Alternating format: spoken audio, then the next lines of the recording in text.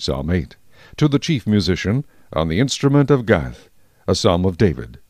O Lord, our Lord, how excellent is your name in all the earth, who have set your glory above the heavens. Out of the mouth of babes and nursing infants you have ordained strength because of your enemies, that you may silence the enemy and the avenger.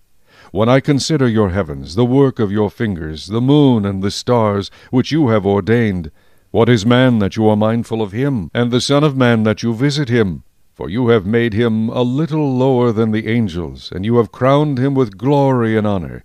You have made him to have dominion over the works of your hands. You have put all things under his feet, all sheep and oxen, even the beasts of the field, the birds of the air, and the fish of the sea that pass through the paths of the seas. O Lord, our Lord, how excellent is your name in all the earth!